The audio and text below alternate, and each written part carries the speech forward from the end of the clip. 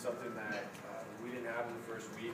Uh, obviously, everyone did. You know, it just, we made the plays when it counted down the stretch. We didn't play the perfect game uh, in any aspect, uh, offense, defense, special teams, but you know, we made, we made the plays that, that needed to be made to win the game.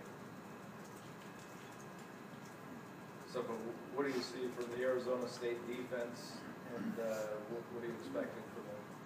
Uh, they're a very athletic defense.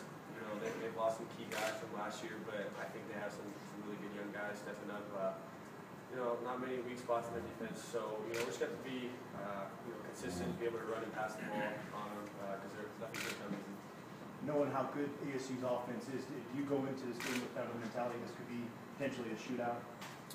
Well, I don't think it'll be a shootout. You know, I have I have faith and trust in our defense, uh, and I also have faith in our offense and the game plan that our coaches put, uh, put us in. So, you know, I, I don't expect a shootout, but you know, if it's a shootout.